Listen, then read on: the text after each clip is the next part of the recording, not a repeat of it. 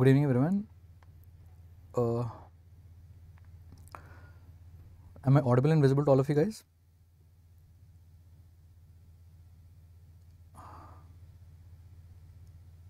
Just confirm me, guys. Like, am I audible and visible to all of you?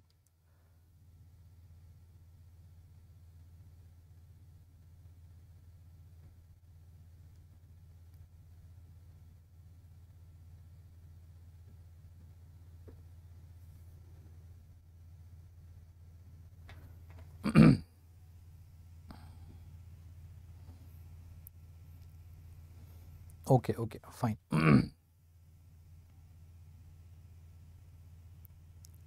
thank you, thank you, thank you, Tejish. Thank you, everyone. Uh, a warm welcome to all of you guys. Uh, hope your preparation is going good.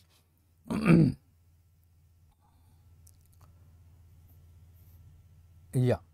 Uh, so now uh, let's get started with the discussion regarding uh, you know like as I told you the expected question series uh, here uh, and uh, I I sincerely and you know I sincerely sincerely apologize for the, the delay.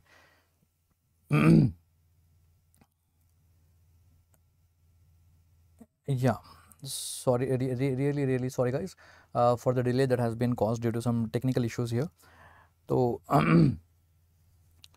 So now let's get started with this one here. Uh, now, uh, my dear friends, first of all, let me tell you one thing here Exam is very much nearby. Exam is on 4th June and uh, I hope your preparation is going uh, good. Uh, the main thing at this point of time is actually the revision of all the high yield concepts which are actually required for your exam. तो uh, हम लोग एक काम करेंगे like what ever like all the high yield concepts and which are like expected concepts for your exam. So we are going to discuss that one guys. Okay.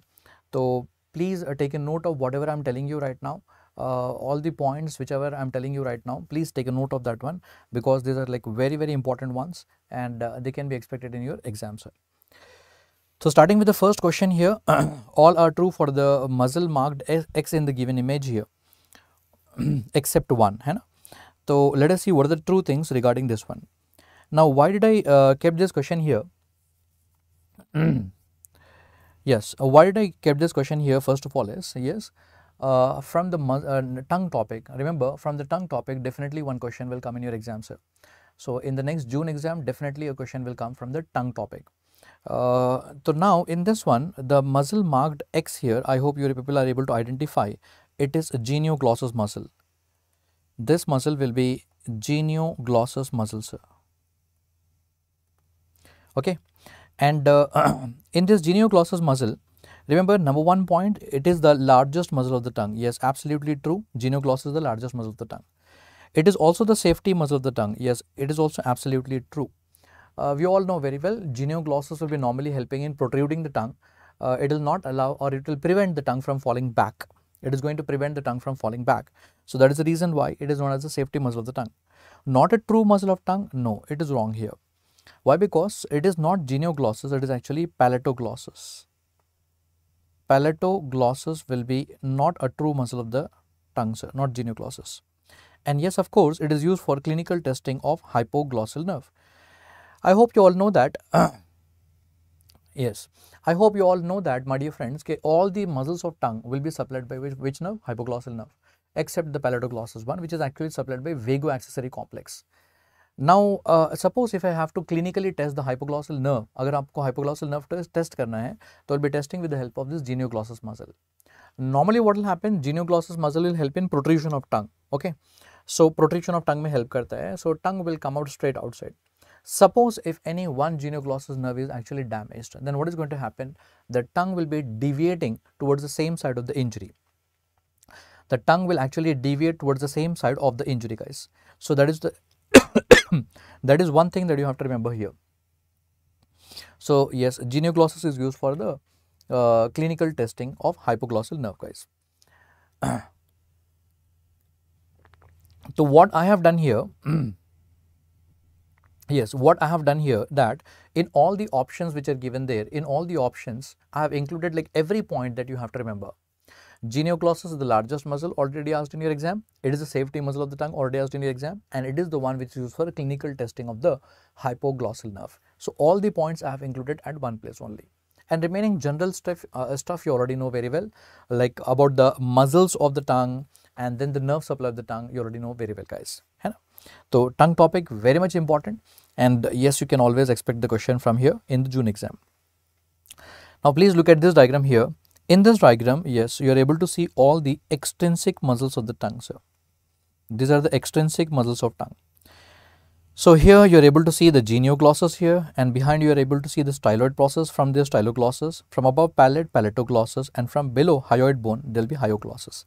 So there will be genioglossus, styloglossus, palatoglossus and hyoglossus. All these are the extrinsic muscles of the tongue sir. So please have a pen and paper along with you and please keep on writing down like whatever topics you have to revise just before the exam. So tongue topic definitely you have to revise before the exam sir. Next number 2. One thing which I have observed very closely is from last like 2 to 3 years, they are constantly asking the questions on larynx, about the cartilages of larynx, about the muscles of larynx and their action and everything. So that is the reason why I have included this question so that you have to revise that before the exam, sir. All are paired cartilages except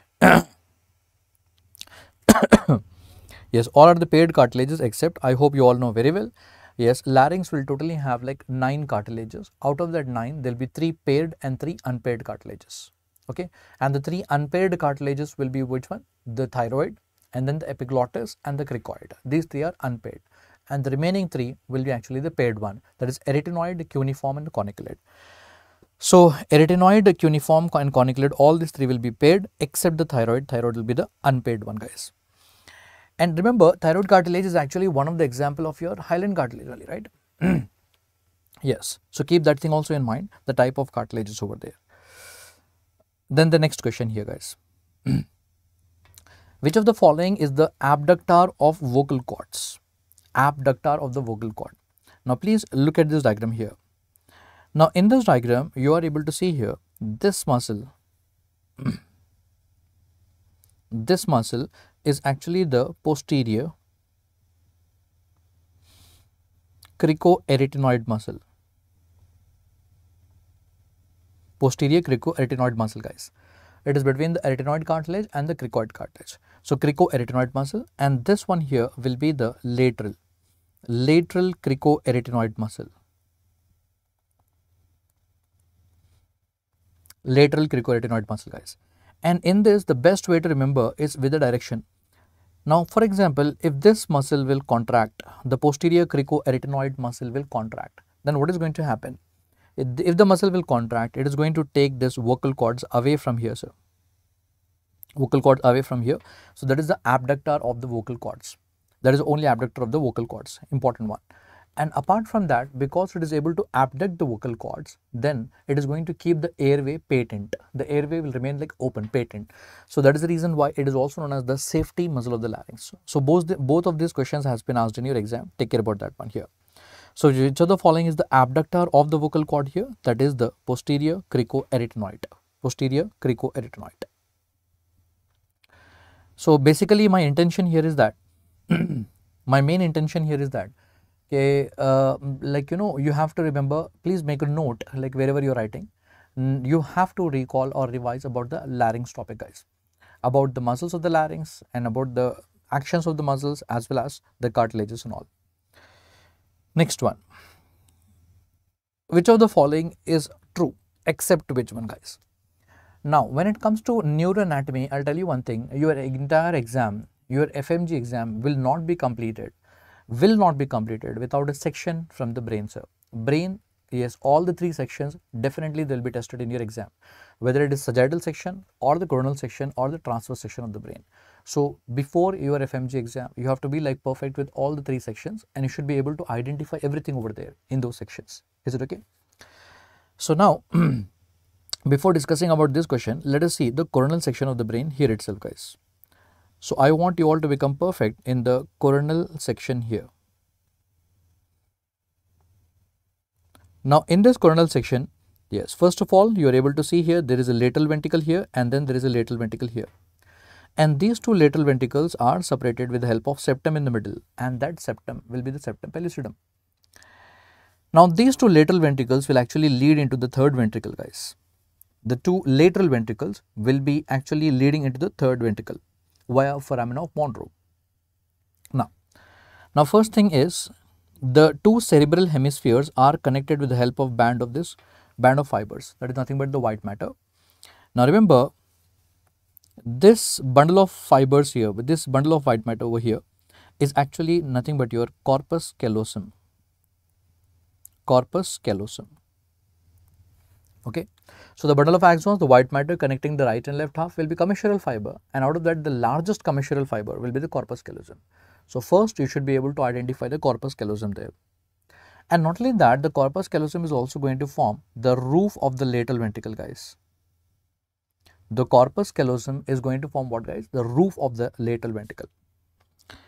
Now, between the two lateral ventricles, there is a septum in the middle and this septum is known as septum pellucidum. And the most important thing is, if this is your septum pellucidum, for example, if my hand, if my hand is like septum pellucidum here, yes, just beneath that, the lower border will be attached to the fornix and that has been tested a lot of times. So, please keep in mind here, the septum in the middle is known as the septum pellucidum and the lower border of that will be attached to what guys? The fornix here. So, in the middle you will be having septum pellucidum and the lower border is attached with fornix And uh, this is actually going to form the medial wall of the lateral ventricle. Lateral ventricle medial wall is formed by the septum pellucidum as well as fornix.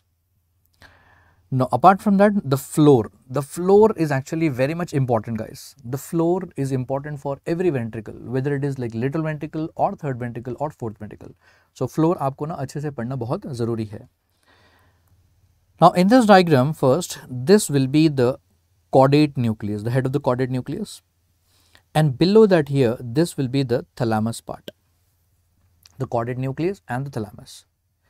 In between them you will be able to appreciate yes there will be a vein that will be the thalamostriate vein. Thalamostriate vein will be appreciated in between them sir. So there is a caudate nucleus and the thalamus and yes there will be a vein present here that is the thalamostriate vein guys now apart from that if you are able to see here in this diagram you will be able to see that there will be a network of capillaries and that is known as the choroid plexus so all these four structures that is your caudate nucleus, the thalamus, the thalamostriate vein and the choroid plexus are going to form the floor of the lateral ventricle. Now, now why I am actually teaching you this one here? now why I am actually teaching you this one here? In one of your FMG exam, they have already asked in the image based question about the lentiform nucleus. There will be a lentiform nucleus here. So, there will be a caudate nucleus and then there will be a thalamus here and then there will be a lentiform nucleus here guys.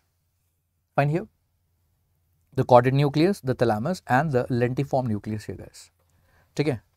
Now between them you are able to appreciate here this is the white matter present here and this white matter here is nothing but your internal capsule. That's your internal capsule guys. So you should be able to identify all the structures in the coronal section of the brain. So that is as I told you in the brain yes out of the three section definitely definitely one section will be asked. Without that the exam paper will not be completed. So that is why you have to know this section here and you should be able to identify all the structures. Now after seeing all these structures over here welcome back my dear friends. Now in this diagram i hope you are able to see here a is actually the caudate nucleus absolutely correct and this b here it is actually thalamus that is also absolutely correct and the C here will be the lentiform nucleus. That is also absolutely correct. But D is not internal capsule, it is actually external capsule. Why? Because internal capsule is somewhere over here. So that's actually external capsule, guys. Uh, lentiform nucleus. Lentiform nucleus is actually given the name as lentiform. Okay. Why? Because yes, it is lens shaped. And because this lentiform nucleus is like lens shaped here, uh, there will be a capsule inside internal capsule and there will be a capsule outside that is your external capsule. is it okay? so therefore that fourth option is wrong. By the way, by the way, uh, it's not about this question here, it's all about the concept here guys. I want you to remember about the coronal section and I told you about all the structures in the coronal section here. Hope you are able to identify them guys. Done. Now apart from that, now let us go to the next question. Now this next question I kept here in sequence. Why? Because yes, this was the exact question that was given in your exam. This was a question that was actually given in your exam there guys. Uh, yes, there was a radiological image and in that radiological image, yes, they have asked you to identify about the lentiform nucleus. So, I hope you will be able to identify this one here in this one. Now, the next ones guys. Benzodiazepine is actually asking about the internal capsule location. See, benzodiazepine, oh, I don't know why people hide their names. uh, internal capsule is exactly located between the lentiform nucleus towards the lateral side. Lentiform nucleus will be towards the lateral side and the caudate nucleus and thalamus will be towards the medial side. Sir. So, lentiform uh, internal capsule is between the lentiform nucleus and then the caudate and the thalamus on the medial side. Is it okay? Perfectly. That is the exact location of the internal capsule. Next one. Now, after this, yes, this is the question that was given in your MCI exam. You should be able to identify the lentiform nucleus in this one here, sir. Now, after that, let us go towards the next question here. okay. So, dire dire later on, uh, la later on, uh, actually, I'll tell you uh, about the other sections of the brain also. Okay, na? Now, we have discussed about the coronal section in detail. I hope this is helpful for you guys. Okay, na? Next one. Now, injury to bulbar urethra leads to extravasation of urine in all except. This is this can even come like a clinical question also guys. Even though I have given you very simple here, injury to bulbar urethra leads to extra, extravasation of urine in all except. I have just given you like a one liner here. The same thing we can actually make it like a clinical question. Tomorrow in the exam they can ask you a clinical question. A person walking on the road suddenly falls down into the you know into the manhole and then he gets uh, hit in the perineum region and because of that the bulbar urethra is damaged. Similarly, like you know, uh, uh, a, a person sitting on the bicycle and riding on the bumpy roads. So, on the bicycle and riding on the bumpy roads at that time again they will be hit in the perineum region and all. So, they can just make a frame a question, you know, a male aged about 20 years riding a bicycle on a bumpy road hits in the perineum region and bulbar urethra will be damaged, something like that. So, instead of, you know, just this one liner the same thing question can come as a clinical question also which is like very much very much uh, like you know trending nowadays guys. By the way let me actually tell you the concept here guys. What is this bulbar urethra if it is damaged then what is going to happen? Where will the urine going? Okay exactly. Now please look at this image on your screen. This is actually the male pelvis in sagittal section. The male pelvis in sagittal section sir. now in this diagram First, you are able to appreciate here that this one here will be the superior fascia of a urogenital diaphragm. I hope at this point of time when the exam is very much nearby, you all know very well what is a urogenital diaphragm. I have taught that very clearly, uh, yes, in the videos, in our DocTutorials videos and all. So, urogenital diaphragm and uh, pelvic diaphragm, most of the students will not have a clarity please remember that this is nothing but the urogenital diaphragm over here. So, this one. Okay. Now, this urogenital diaphragm, it will be having like two fascia, one fascia above that is the superior fascia of the urogenital diaphragm and then there will be inferior fascia of urogenital diaphragm. There will be superior fascia and then there will be inferior fascia of urogenital diaphragm. Then apart from that, yes, remember in the perineum region that there will be a fascia and this fascia is nothing but the superficial fascia. Be very careful with the naming here. It is not superior, it is actually superficial fascia.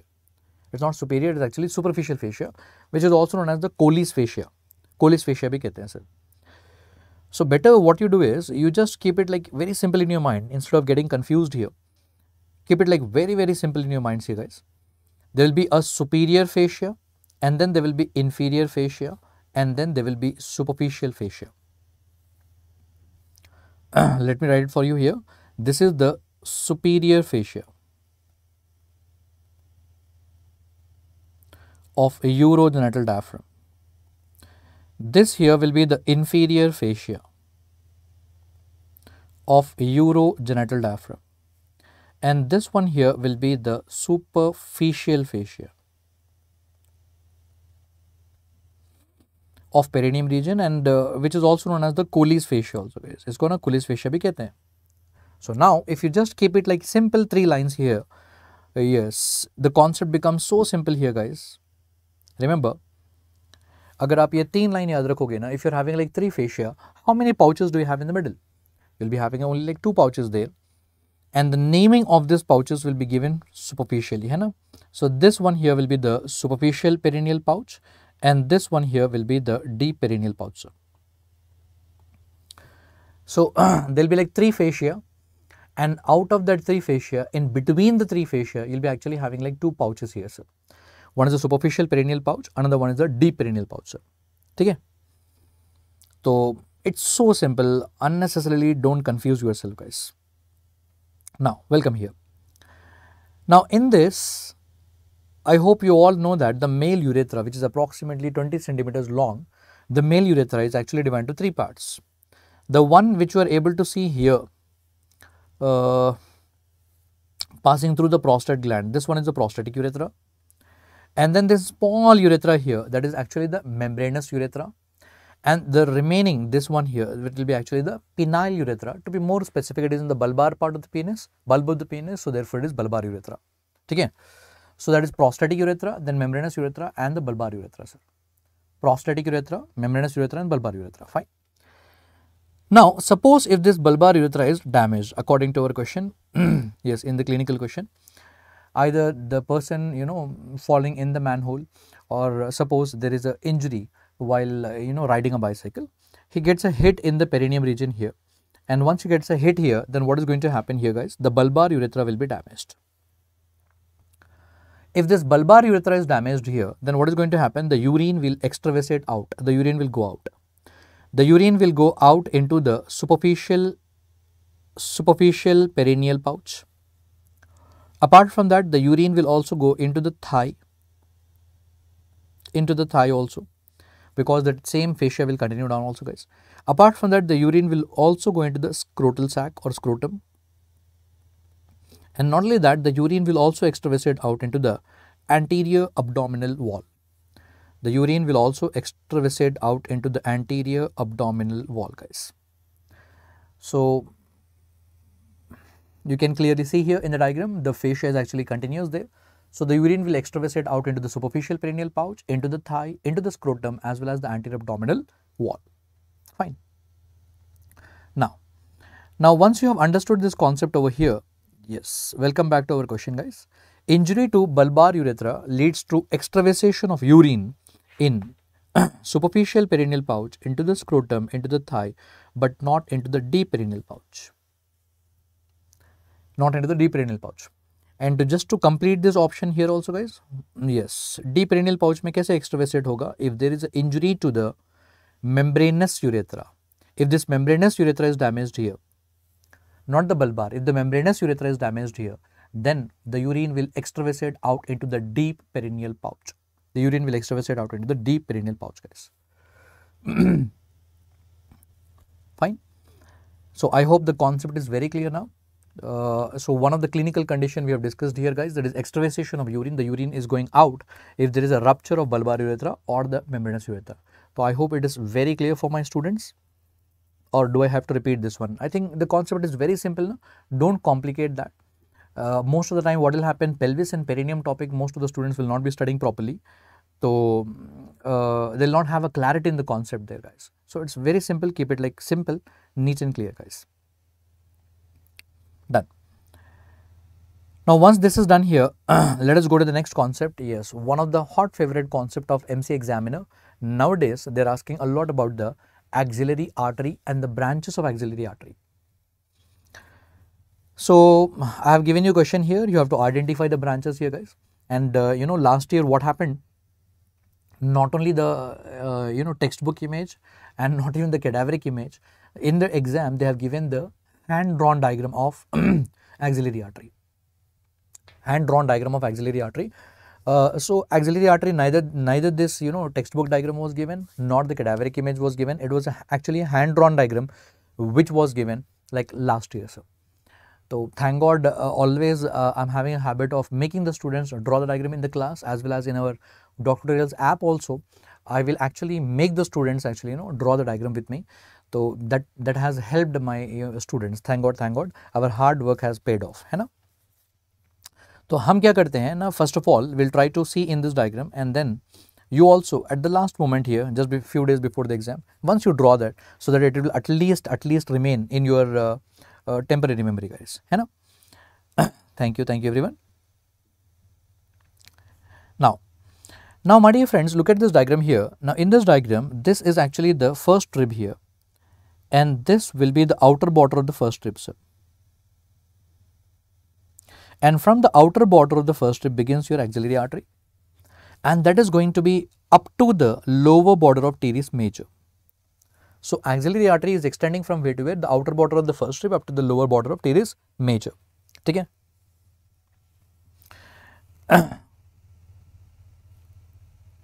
yes. After that, my dear friends, look here.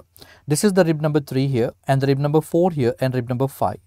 And from here, there is a muscle going to begin and that muscle will be the pectoralis minor muscles. Pectoralis minor muscle guys. And that pectoralis minor muscle will go and get inserted onto the coracoid process. Coracoid process. Now, because of that pectoralis minor muscle, the entire axillary artery will be divided into three parts. The part which is present before the muscle, muscle say pehle, that is the first part of the artery.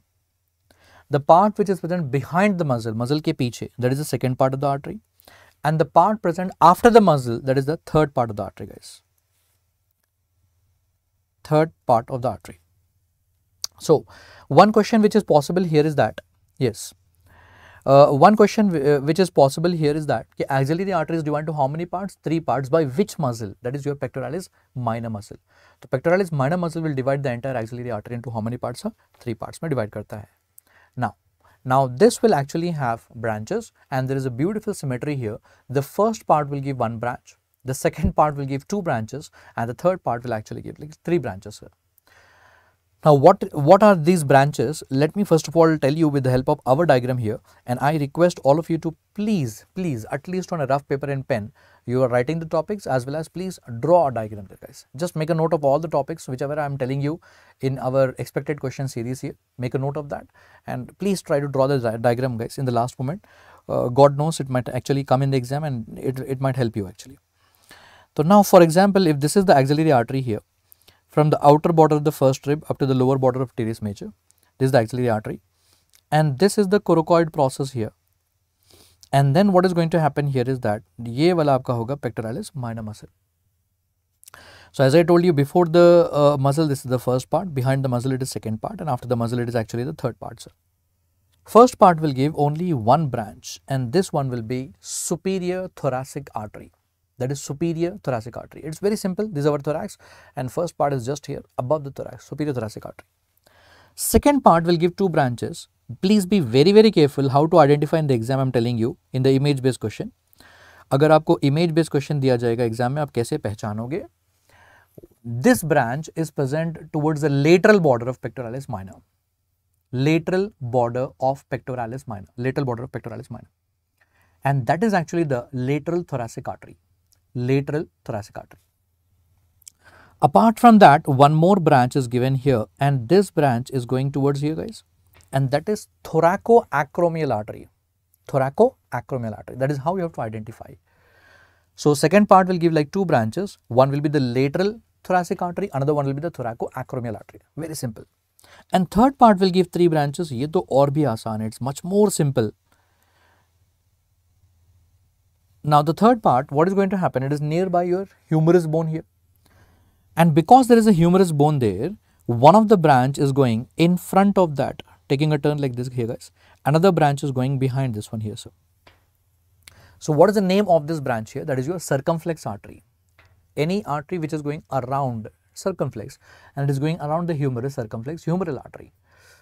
So, there will be one anterior circumflex humeral artery, there will be one posterior circumflex humeral artery. It is going around the humerus here and the third branch will be actually going down below the scapula. So, therefore, this one here will be the subscapular artery that is subscapular artery eyes. So, I repeat once more here the first part will give only one branch that is superior thoracic artery, second part will give two branches lateral thoracic artery and thoracoacromial artery and the third part will give three branches anterior and the posterior circumflex humeral artery and subscapular. and whatever feedback I got from your seniors in the last year, they have asked the question regarding axillary artery. And in this axillary artery, they have given the hand drawn diagram exactly like this. Okay. And in this hand drawn diagram, they have asked the name of these branches sequentially. Like for example, they have given like something like number one here and this one was number two here and this one was number three here. And they have asked the name of these three branches in the options. Sequentially, you have to answer like which is the first one, second one, the third one guys. So the first one here is superior thoracic artery. Let's try. And the second one here is the lateral thoracic artery. And the third one here will be the subscapular artery. I hope you're getting my dear friends. So nowadays slowly slowly what is going to happen the standard of exam is increasing. So better always always you know uh, follow like whatever the faculties are actually teaching you in the classes and whatever high yield topics are there because the standard is increasing here. So you have to follow this one here. So this is the, another important topic, another important concept Uh, which I wanted to discuss with you guys. Now moving on to the next concept after axillary artery. Another hot favorite thing and a very old question and very important one also. Corticospinal tract is crossing at which level? First of all, I hope you all know this corticospinal tract with another name, the very famous name of this one, that is the pyramidal tract. Corticospinal tract, it is also known as what guys? Pyramidal tract. And pyramidal tract, it is one of the descending tract. It is a motor tract and a descending tract. And uh, it's going to descend down from the cerebral hemisphere, the diencephalon, the midbrain, and finally, in yes, in the medulla oblongata, it is going to cross. Okay.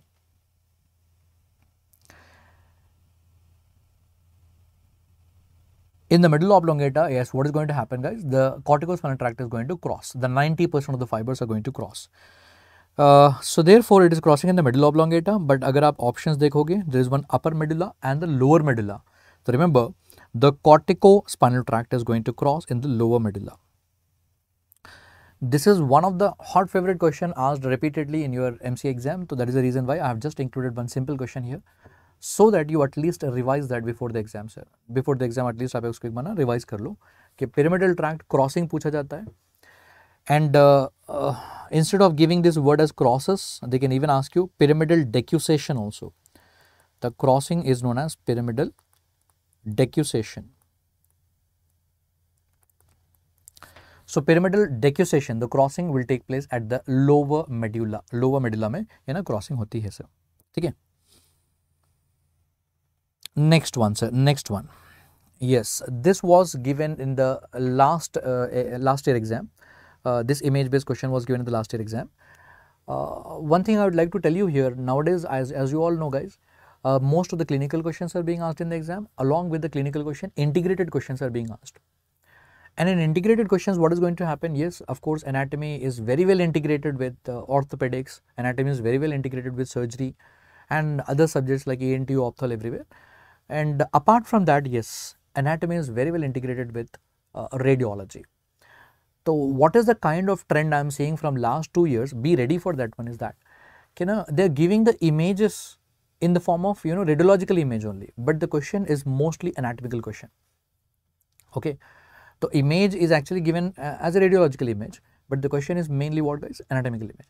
So please, please my dear friends, I would request all of you to remember that कि you have to study all the subjects सारे subjects पढ़ना बहुत ज़रूरी है because integration में ना uh, like they can ask you from any subject so that is the reason why remember all uh, you have to study like all the subjects here now what is the artery involved in the hematoma shown in the given image now in the given image is nothing but your uh, yes EDH I hope you are able to identify it very easily there guys EDH epidural hemorrhage or extradural hemorrhage है ना so this is the epidural hemorrhage or extradural hemorrhage here fine and yes yes yes yes idli shaped uh, there are like various names to remember for that one very good uh, Deepesh Soni idli shaped or you know the biconvex shape lens shaped something like that and in EDH in epidural hemorrhage the artery that is actually involved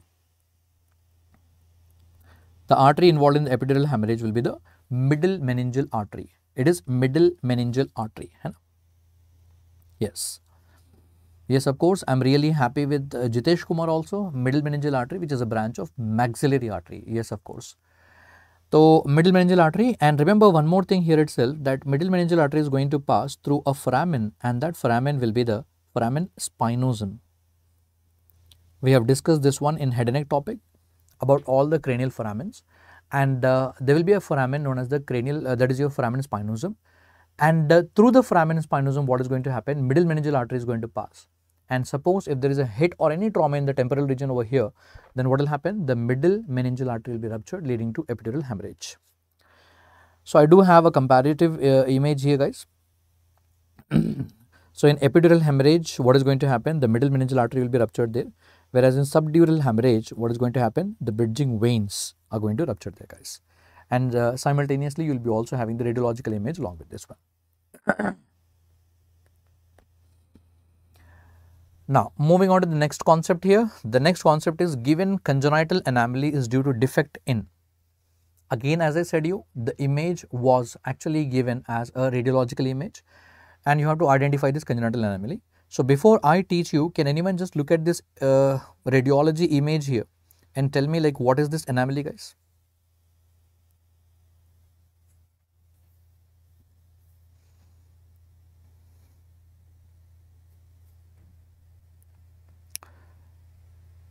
Yes, everyone here. First of all, tell me like what is this anomaly here? Can anyone answer me here?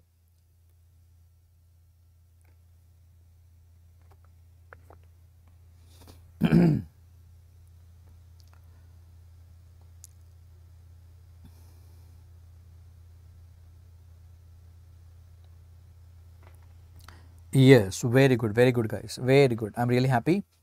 very good, Dipesh Soni. Very good, Prashant. Actually, the image is actually showing you the congenital diaphragmatic hernia. Congenital diaphragmatic hernia. Okay. Now, in this congenital diaphragmatic hernia, it's due to what? Like, what is the reason for this one? To understand the reason for this one, first of all, you should know what will be the normal development of. Yes, abdominal abdominal viscera is actually going into that one yes very good very good so what is the normal development of the di uh, diaphragm वो हम पढ़ेंगे ना सबसे पहले ना so in anatomy let me first of all tell you about the development of diaphragm remember whenever you learn about development of diaphragm diaphragm is actually formed by four structures one is septum transversum another one is the pleuroperitoneal membrane Another one will be the dorsal mesoesophagus as well as the cervical somites. Okay, now, for example, if you are looking at this diaphragm guys, developing diaphragm from above, है ना our diaphragm is like dome shaped and this developing diaphragm we are seeing from above. अगर हम ऊपर से देख रहे हैं तो first you'll be actually having a septum here and this septum here will be known as the septum transversum that is septum transversum. And septum transversum is mainly going to form the central tendon. uh, diaphragm is dome shaped, they'll be having a central tendon along with the muscular part, muscul musculotendinous structure there guys. So, central tendon, central tendon is formed by the septum transversum. Then you also have the esophagus here and then this structure which is coming from the dorsal side and encircling this one here. This one is referred to as the dorsal mesoesophagus. Dorsal mesoesophagus, guys. And then apart from that, the body wall, the muscle, muscular part, muscle part should be actually formed from somites. And remember, this is the place where most of the students will be confused. This will be derived from the cervical somites. Now, why I am telling you students will be confused here, all the foreign medical graduates will be confused here. Why? Because यार diaphragm तो यहाँ होता है diaphragm is actually present between the thorax and the domain here है ना but how come the cervical so much contributing to the muscle here? So I will tell you one simple method to remember this one. Don't get confused with this word cervical. I have seen like many students in the exam. They'll be like very much confident that cervical to hoi nahi sakta hai. Cervical is not at all possible. Why? Because diaphragm is here and cervical neck is over here. Remember one thing, diaphragm is supplied by phrenic nerve. I'll tell you the trick how to remember that one without any confusion. Diaphragm will be supplied by the phrenic nerve and phrenic nerve, what is the root value? what is the root value of the phrenic nerve guys? it is actually C3, C4 and C5. So phrenic nerve is actually coming from here C3, C4 and C5 and after beginning from here it is passing through the neck region and through the mediastinum and finally going and supplying to diaphragm here. Is it okay? So remember with this one, okay, phrenic nerve is coming from the cervical region. So cervical somites are the one which are contributing for the muscle wala part of the diaphragm. And whatever is left out here, this is the pleuroperitoneal membrane. Above you'll be having the pleura, below the peritoneum, the pleuroperitoneal membrane guys. so this one here will be the pleuroperitoneal membrane and this one here will be the another pleuroperitoneal membrane. They'll be paired here. Is it okay? So septum transversum, the cervical somites as well as the dorsal mesoesophagus and pleuroperitoneal membrane. So I told you the normal development of the diaphragm. Diaphragm ka normal development ho gaya. It is from all these four structures. Now, what is the uh, anomaly here guys? What is the problem? Yes, this pleuroperitoneal membrane agar ye form nahi hoga, if it is not at all formed, if it is absent, then what is going to happen? Yes, it will lead to congenital diaphragmatic hernia. So the given congenital anomaly is nothing but congenital diaphragmatic hernia and this is due to the absence of pleuroperitoneal membrane, pleuroperitoneal membrane. And during development, what is going to happen? The abdominal pressure more and because abdominal pressure is more, all the abdominal viscera are actually herniating into the, yes, the, uh, you know, the thoracic, thoracic cavity over there and then they're actually going to compress the lungs, you know, all those things. So this picture gives you a very clear idea about the congenital diaphragmatic hernia guys. The same thing is being showed in your exam as, you know, the radiological image over here. I hope this concept is extremely clear, crystal clear concept guys. So because this was already given in your MCI exam, so this is very much important guys. That is why I have explained you the entire thing, the development of diaphragm from all the four structures, which structure is going to form where, where is the confusion, the confusion is the cervical somites over here and then the application part of that one. So agar pleuroperitoneal membrane absent hoga, if it is absent there, then it will lead to what's a congenital diaphragmatic hernia. Next one. Now, uh, as I told you that there are like so many questions being asked in the last two years, uh, two, three years from the larynx and pharynx guys, okay. Constantly, constantly they're asking. So, one question from the uh, pharynx part also guys. Let us see the pharynx wala part. The Killian's dehiscence is seen between what guys? Killian's dehiscence is actually a triangle shaped like weak area in the pharyngeal wall. So, let us see it is between like which muscles? So to understand that, I, I request all of you to please look at this diagram. so pharyngeal wall, you all know very well our pharyngeal, uh, the wall of the pharynx is actually muscular and right, fibromuscular. So it will have like longitudinal muscles also as well as circular muscles guys. When it comes to circular muscles, circular muscles are actually the constrictor muscles. So you have got the superior constrictor muscle. So this one is the superior constrictor muscle over here and this here will be the middle constrictor muscle over here and this below here this one will be the inferior constrictor muscle here. But now this inferior constrictor muscle in turn has got like two parts. Number one you are able to appreciate here this is the thyroid cartilage and from the thyroid cartilage these oblique fibers which are going to the pharyngeal raphe behind these oblique fibers that is nothing but thyropharyngeus muscle.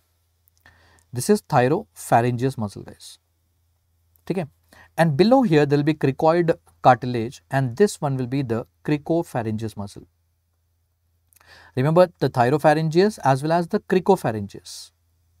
Thyropharyngeus as well as the cricopharyngeus, these two will be a part of your inferior constrictor only. Inferior constrictor has got like two types of fibers there. So these together nothing but inferior constrictor. Now what is going to happen is between the thyropharyngeus and cricopharyngeus, there will be a triangle shaped weak area here. Sir there will be a triangular shaped weak area here. You can more clearly appreciate that from behind when you see the pharyngeal wall from behind.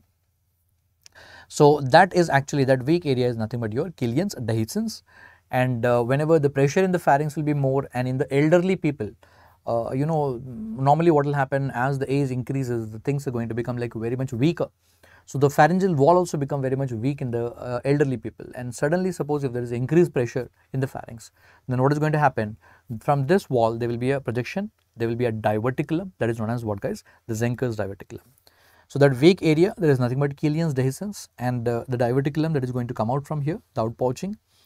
Uh, that is nothing but the Zenker's diverticulum which is going to outpouch from here guys. Okay. So going back to our question here the Killian's dehiscence is actually between which two muscles here one will be the thyropharynges and the cricopharynges guys. Thyropharynges and the cricopharynges remember this one here. Okay. Next one guys. Thank you. Thank you so much. So that is one important concept that you have to remember. Now the next one. This question has been uh, repeated like you know two to three times in your exam about the winging of scapula. The nerve involved in the given condition, the given condition is nothing but the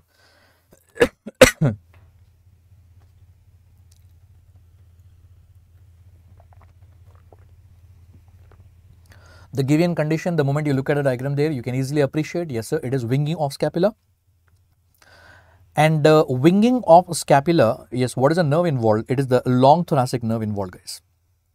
Long thoracic nerve which is involved. And this is the nerve which is coming from your C5, C6 and C7, guys. Okay? So, winging of scapula, the long thoracic nerve is involved.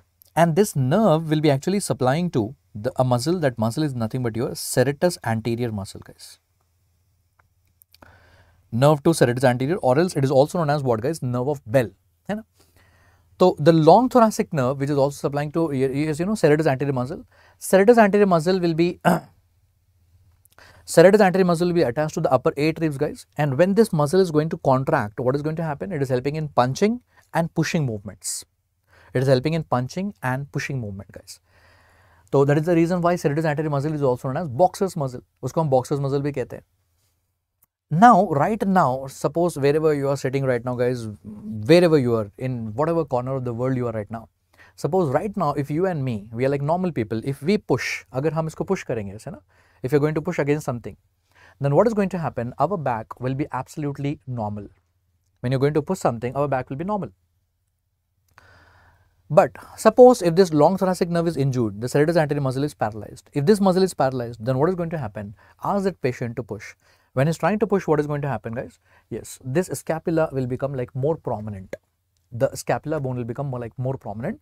And if you want to remember, remember the medial border of the scapula becomes like more prominent. So, to be more specific, the medial border of the scapula becomes more prominent in winging of scapula. So, what is a nerve? what is the nerve damage here? The long thoracic nerve. And then, what is the muscle which is paralyzed here, sir? That is nothing but the serratus anterior muscle which is paralyzed here. Okay. Now, Saying this, I want you to remember like few things here guys. This is the diagram of your brachial plexus. I hope you all are like expert in the brachial plexus. Right? Now at this last moment just before the exam, I don't have to teach you uh, like uh, um, all these basics and all. So brachial plexus to aapko achhe se pata. So number one, the brachial plexus will be having roots here and then the roots will actually combine to form the trunk. There will be three trunks, upper trunk, middle trunk and lower trunk. And then trunks will divide into what guys? Divisions and divisions will combine to form the cords and cords will finally give you what branches they're like five parts in the brachial plexus now in this I told you very clearly this is the C5 and the C6 and C7 and from there you can clearly appreciate that there is a nerve coming from here. This is the long thoracic nerve. And if this long thoracic nerve is injured, it is leading to what guys? Winging of scapula. Injury to long thoracic nerve lead to what guys? Winging of scapula.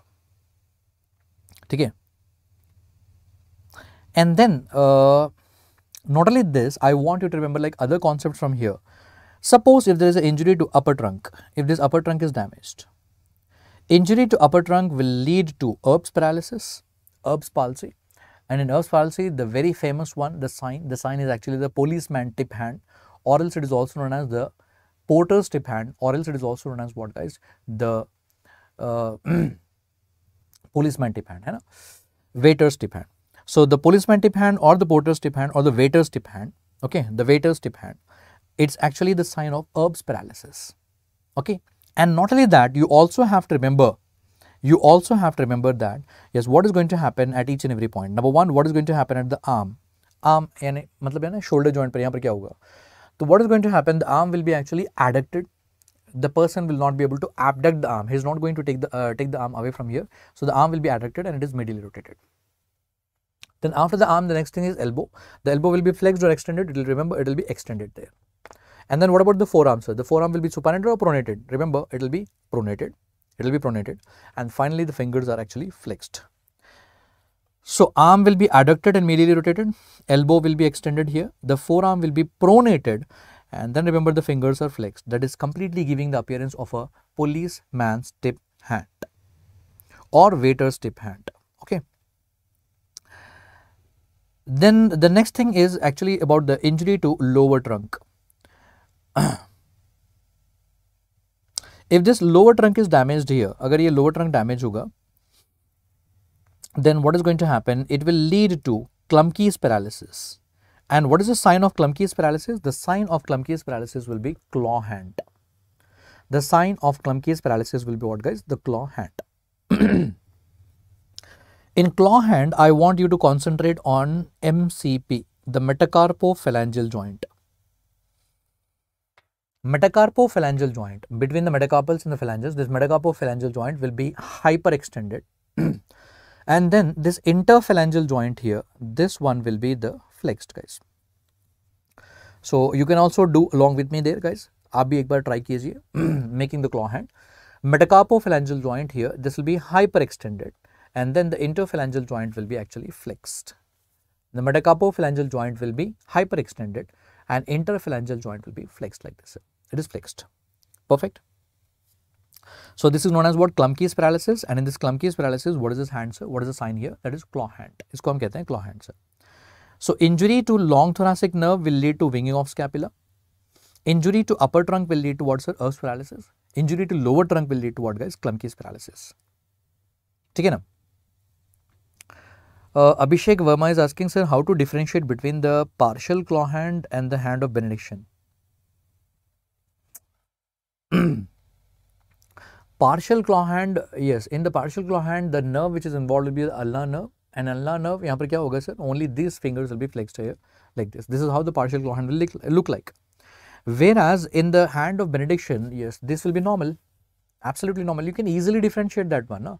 partial claw hand में तो ulnar nerve involved होगा ulnar nerve involved and only this side of the hand will be involved here it will be something like this here whereas in hand of benediction what is going to happen there these fingers are absolutely normal the median nerve will be involved so in that what you have to do is you have to actually ask the patient to make a fist Normally तो उसका हाथ normal होगा hand will be normal but what you have to do is yes you have to actually ask the patient to make a fist and when he's trying to make a fist right now you and me we are like normal people हम लोग तो आराम से we can make a fist like this here yes when you ask the pa patient to make a fist here at that time what is going to happen this is normal here तो ये तो अच्छे से flex हो जाएगा but this is not going to get flexed here because median nerve is involved. When median nerve is involved, all the five muscles of hand will be involved.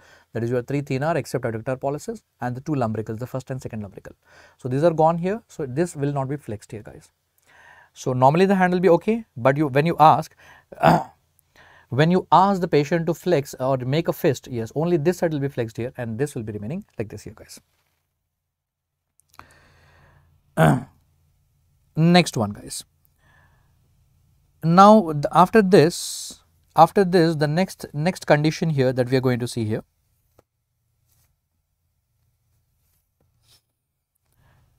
The next next condition or the next concept that we are going to see here is this one here so muscles involved in the lurching gait. So basically uh, yes basically basically what i am trying to tell you here is that basically मैं आपको क्या बताना चाह रहा हूँ यहाँ पर ना what I am trying to tell you is please keep in mind yes nowadays there actually testing about the partial claw hand the complete claw hand and all the nerve involve in this condition and all they are testing on this one guys so please try to recall all this concept like just before the exam why because in the last last exam just last exam they have given image based question of partial claw hand yes the partial claw hand the nerve involve will be the ulna nerve ठीक है? Next one, another like hot favorite thing of your MC examiner. Yes, another hot favorite thing of the MC examiner here is about the muscles which are attached to the femur. Now, muscles involved in the lurching gait are inserted at. So, let, let me first of all tell you in detail about the muscles getting inserted here guys. So, if this is the upper end of the femur, in the upper end of the femur, remember this one here will be the greater trochanter.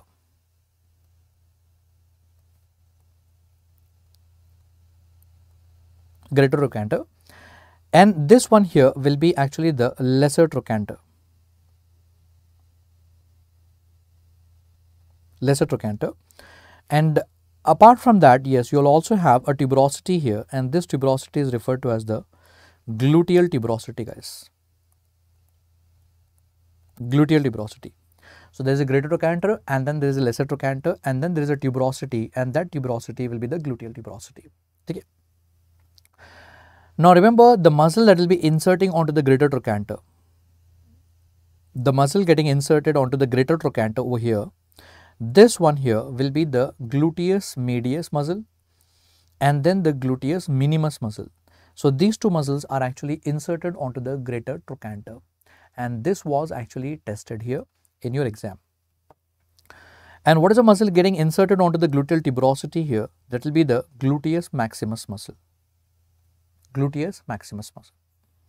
And on the lesser trochanter which was asked last year in the MC exam, the muscle that is getting inserted onto the lesser trochanter will be the psoas major muscle and along with the psoas major muscle, there will be iliacus muscle guys, iliacus muscle. Okay? So, it is also referred combinedly as iliopsoas psoas major muscle and the iliacus muscle. Okay. So, gluteus maximus muscle will be inserted onto the tuberosity that is gluteal tuberosity. Medius and minimus will be inserted onto the greater trochanter and then the psoas major and iliacus at the lesser trochanter. First you learn this aram se. Now, now along with this you have to also remember like what is the nerve supply. Gluteus maximus will be supplied by inferior gluteal nerve Whereas gluteus medius and minimus, these two will be supplied by superior gluteal nerve. You know? Gluteus maximus will be supplied by inferior gluteal nerve, whereas medius and minimus, those two will be supplied by the superior gluteal nerve. And now, let us come to the clinical aspect here. When this superior gluteal nerve will be injured, when there is an injury to the superior gluteal nerve here, then what is going to happen? These muscles are paralyzed. And when these muscles are paralyzed, the person will not be able to walk. Yes, when this muscle is paralyzed here or the person will not be able to walk properly there guys so therefore the person will be walking with like you know his entire body lurching on one side so it'll be like bending on the bending the body on one side and then walking. So that that that type of gait is actually known as what guys? Lurching gait. Isko hum kehte hain lurching gait sir. So in lurching gait what are the muscles which is involved here? Gluteus medius and minimus and what is the nerve which will be involved guys? That is the superior gluteal nerve. And those muscles are actually inserting onto the greater trochanter here. Hope the concept is very clear. So, you have to remember where is the muscle attached, which muscle is attached and you have to remember about their nerve supply and just you have to also remember about their actions. So, gluteus medius and minimus these two are actually helping in what? They are actually helping in abduction at the hip joint. They are actually helping in what? Abduction at the hip joint. Whereas maximus will be actually helping in extension at the hip joint. So, therefore, my dear friends, yes, what is this sign, uh, what is this type of gait known as a lurching gait and what is the sign which is actually positive in this one that is your Trendelenburg sign is actually positive guys. So, muscle which is involved in lurching gait will be nothing but gluteus medius and minimus, gluteus medium, uh, medius and minimus, okay. And uh, remember the gluteus medius and minimus they are actually attached at the greater trochanter. So, therefore, the answer for this question will be the A that will be attached at A ठीक है? Yes Abhishek Verma in Trendelenburg gait the nerve which is involve will be the superior gluteal nerve superior gluteal nerve supplying to medius and minimus so यहाँ पर medius and minimus attach होगा at a greater trochanter so at a what is going to happen medius and minimus lesser trochanter is be here iliacus and psoas major which was given last year okay and then see here gluteal tuberosity the muscle attach will be the gluteus maximus muscle and D here is actually the ischial, ischial tuberosity. You all know very well the hip bone will have like three parts. The, the hip bone will actually have like three parts, the ilium, ischium and the pubis. So, the part which is present below here, this is nothing but the ischial tuberosity and ischial tuberosity is the one where the hamstring muscles will be attached. Okay and even the you know adductor magnus muscle will be attached. So that is not a not a thing which has to be discussed here in the lurching gait fellow parts. So my main intention, yes, the my main intention here in this question here, my main intention was I have completed like many concepts at one place here. Attachments at the upper end of the femur, all the muscles which are attached at the upper end of the femur and those muscles and their nerve supply and action that is also done and at the same time the clinical condition that is lurching gait and at the same time Trendelenburg sign. So guys I am telling you like this session is like very well planned session for all the important topics that you must revise before going to the exam and I have concised it in such a way that uh, मैंने उसको ना इतना simple way में इसको concise कर दिया है कि in one one question it self I am trying to cover like all the aspects everything in this one here guys the muscle the nerve supply अगर इंजरी होगा तो क्या होगा what will happen with the injuries and all those things and along with that attachment the upper and the femur everything everything has been done here guys ठीक है Uh, next one here. Let us go to the next concept here. Oh, Identify the arrow marked joint in the given image. Please write down, I hope you're having your pen and paper along with you. One question definitely on 4th June 2022 from Joints Wala topic, sir. One question definitely, definitely, definitely in your June exam from the Joints Wala topic, sir. Joint pakka, ek sawal pakka aega, sir now before telling you about that joint i'll tell you one thing here whenever you learn about types of joints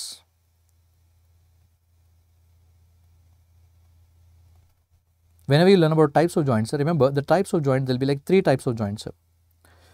One will be the fibrous joint. One will be the fibrous joint, which is immobile joint. The fibrous joint is actually the immobile joint, guys. You know? And uh, number two, that will be the cartilaginous joint. Cartilaginous joint. And number three, there will be the mobile joint, that is the synovial joint. Sir. So, the fibrous and then cartilaginous and then the synovial joint. First, what you do is have a clarity, have a clear idea in your mind, crystal clear idea in your mind that the joints are actually divided into how many categories guys? It is divided into how many? Three categories. The fibrous joint and the cartilaginous joint and the synovial joint guys. Now, let us see the further like you know uh, sub classification or subtypes of joints there.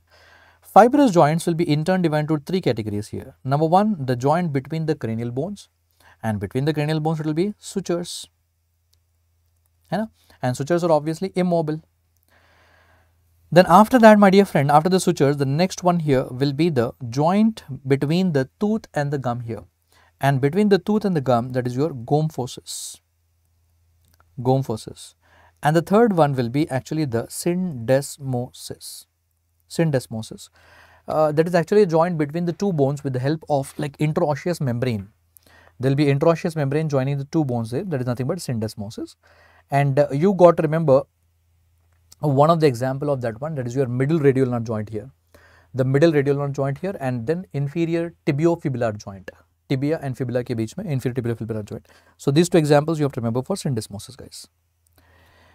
And the cartilaginous joints are again divided into two categories. One will be the primary, another one is the secondary cartilaginous joint. First, remember the another name of this one, the primary is also known as synchondrosis. And this is extremely important nowadays, guys, the cartilaginous joint. Why? Because they're asking many questions, many times they're asking, okay, now almost every time they're repeating in the MCA exam about the cartilaginous joint. The first, you remember the another name there, the primary cartilaginous joint is known as what? Synchondrosis and then secondary cartilaginous joint, it is also known as what here sir? Symphysis. इसको symphysis भी कहते हैं. Now, now when you have to remember the examples, remember the examples of symphysis, the secondary cartilaginous joint, uh, all the midline joints in your body, all the midline, midline joints in your body will be the examples of symphysis. So just remember one golden rule there. The golden rule here is that the midline joints are nothing but your symphysis guys. And synovial joint, nothing but all the mobile joints, all the mobile joints. Um, like it includes all those things like you know the ball and socket joint, hinge joint, and then you also have that condylar joint, bicondylar joint, the plane pivot, all those joints comes under the synovial category. So the, this is the simple way how you have to remember guys. Mohammed Rayan, gomphosis will be between the tooth and the socket, between the tooth and the socket, gomphosis. Yes. now welcome to the secondary cartilaginous joint. I mean, I've already bata rakha hai. Already I told you there. The secondary cartilaginous joint will be also known as what? Symphysis. And I told you like what is the golden rule here? How to remember the examples of the secondary cartilaginous joint, sir? Remember midline. Midline joints, sir. So number one, the manubriosternal joint between the manubrium and the body of the sternum. Number two, the xiphisternal joint between the body of the sternum and the xiphoid process. Number three, the intervertebral disc, disc present behind. Number four, the pubic symphysis and then the sacrococcygeal, all midline. You can clearly see all the examples there. So, it is easy to even uh, memorize and remember that one. Manubriosternal, xiphisternal joint, pubic symphysis, the sacrococcygeal joint, all this will be the midline joint. But here, remember one exception the exception here, yes, all of them in the midline, but not the, except the symphysis menti, already even tested in the PG exams. This one here. Mandible, this is the mental part of the mandible. Remember, it is not an example of secondary cartilaginous joints. It is not an example of symphysis. Remember, this one here, symphysis menti, it has been mentioned in Gray's Anatomy, the latest edition, 42nd edition, that it is a special type of fibrous joint. These are the exact words written in the Gray's Anatomy. It is a special category or a special type of, you know, uh, the fibrous joint guys. Okay, so remember the best thing to remember about the examples of symphysis, there is a secondary cartilaginous joint. So what is the joint which is arrow marked in this diagram here? In this diagram you are able to see the pubic symphysis and pubic symphysis is an example of secondary cartilaginous joint. Perfect, easy to remember. Okay, na?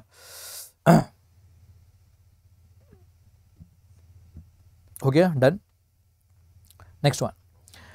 My goodness Y I have included this question here sir तो जैसे मैंने आपको कहा I think I I hope you people are actually noting down there sir you writing there in your books there कि definitely one question is going to come in the June exam from joints तो joints and there examples you have to remember that one sir now why i have included this this this question here is that it's it has been the same question has been repeated in the last two exams uh, so last year like 2021 in the June exam as well as in the December exam this same question was repeated with the same diagram also uh, picture also. That is a radiological image of all your tarsal bones given there.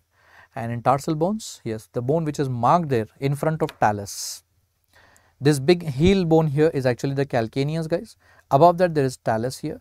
Or talus ke samne in front of that this one will be the navicular. So God knows uh, they might again repeat or they can uh, ask you about any other bone there guys. Hai na?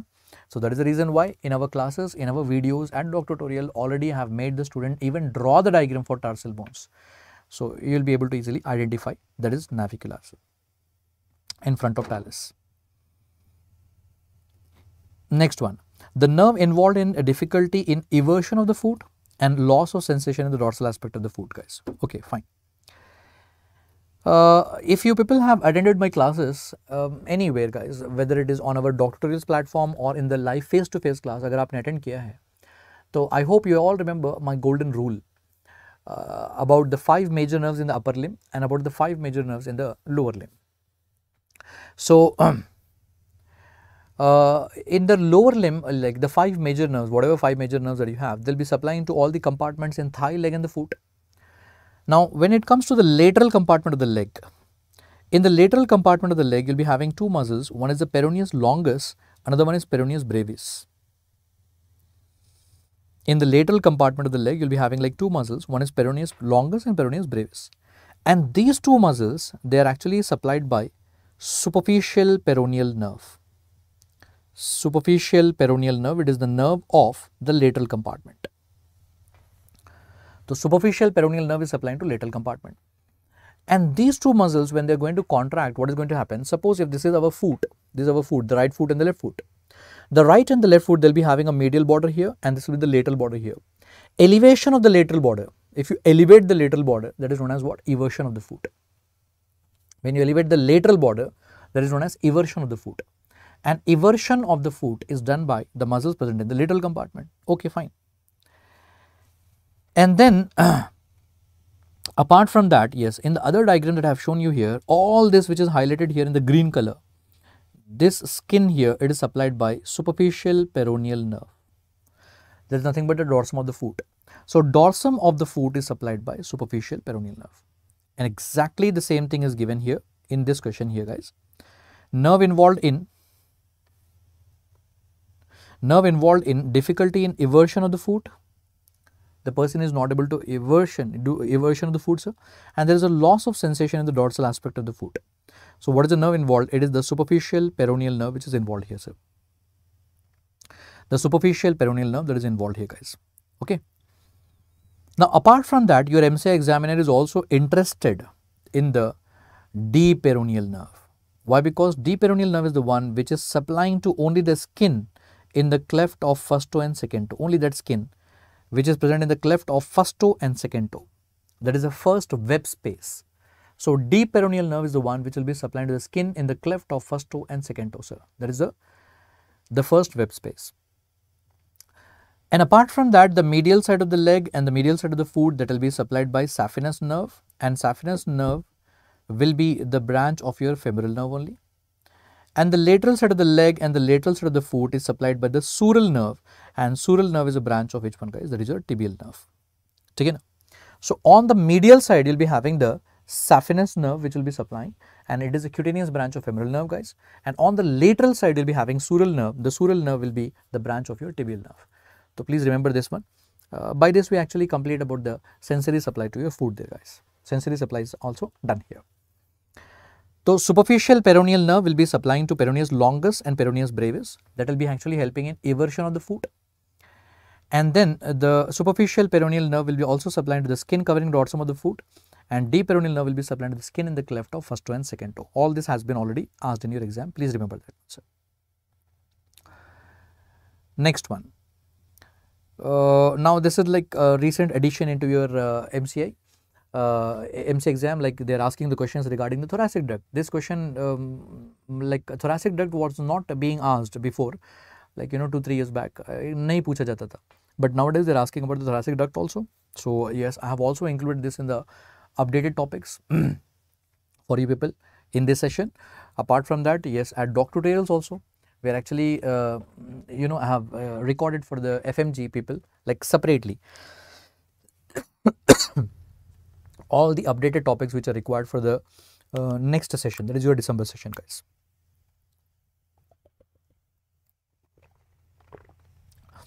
Now first of all uh, what you have to remember here is that okay, what is the structure marked in this image that is the thoracic duct here.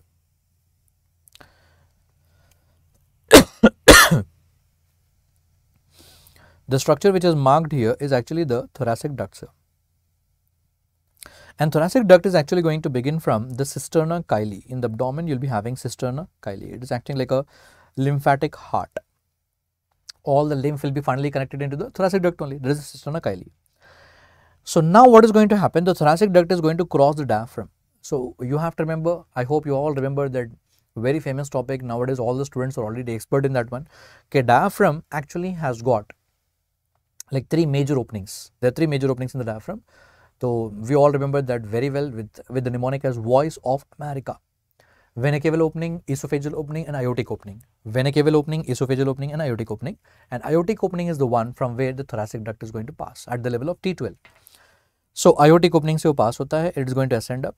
And after ascending up, it is going to deviate towards the left at A4 and then again furthermore ascending up deviate again towards the left and finally if you are able to appreciate in this diagram it's going to get yes draining all the lymph it is going to you know finally drain the lymph at the junction of this left subclavian vein here and this is the left internal jugular vein here so guys.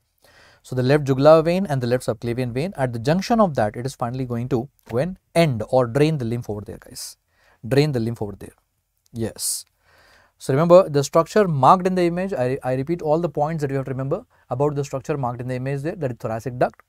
And thoracic duct I want you to remember that is, it is going to actually cross the diaphragm via the aortic opening, then deviate towards the left at T4 and further deviate and finally drain the lymph at the junction of subclavian vein and the internal jugular vein, sir. Subclavian vein and jugular vein, sir. Next one. So, all the points regarding that is covered. Now, another important concept about the upper limb topic which is being tested many a times in your exam is about the nerves which are actually related to humerus. Now look at this diagram here. In this, the nerve passing behind the mark structure, the mark structure is actually the medial epicondyle here. This is the medial epicondyle. And what is the nerve passing just behind the medial epicondyle? That is your ulnar nerve, sir. Ulnar nerve is the one which is going to pass.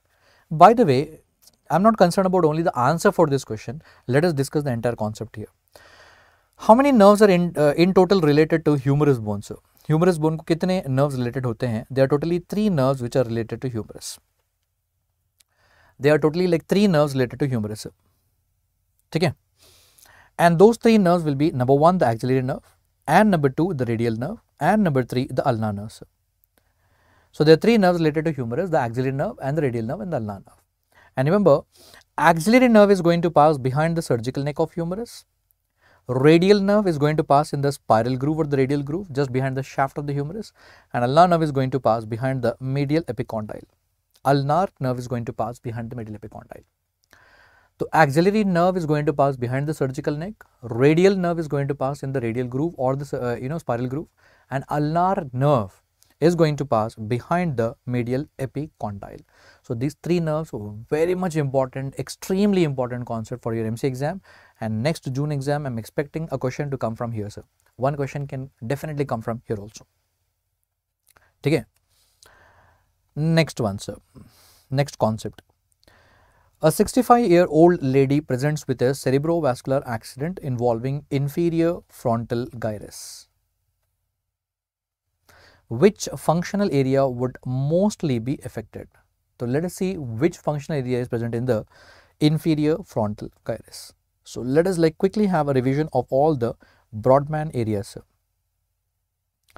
For example, if this is the cerebral hemisphere, the superolateral surface, and in this cerebral hemisphere, first of all, in the temporal lobe, in the temporal lobe, you'll be having two sulci, two sulci. If there are two sulci, if there are two depressions there, obviously, how many gyri do we have? Like three gyri, you know. If there are two sulci, there'll be like three gyri, and you people know very well, like if it is gyrus present there, what is the name of the gyrus? Temporal gyrus. So one will be the superior temporal gyrus, another one will be the middle temporal gyrus Another one will be the inferior temporal gyrus. Exactly the same concept you can also apply in the frontal lobe also guys here. In the frontal lobe also we will be having two cell sulci, so there will be three gyrus, but this time the name will be the frontal gyrus. So there will be superior frontal gyrus and then there will be middle frontal gyrus and then finally you will be having the inferior frontal gyrus. Now in the superior temporal gyrus, in the superior temporal gyrus, remember you will be having area number 41 and area number 42 sir. That is the primary auditory area. Just behind that, will be having area number 22, auditory association area.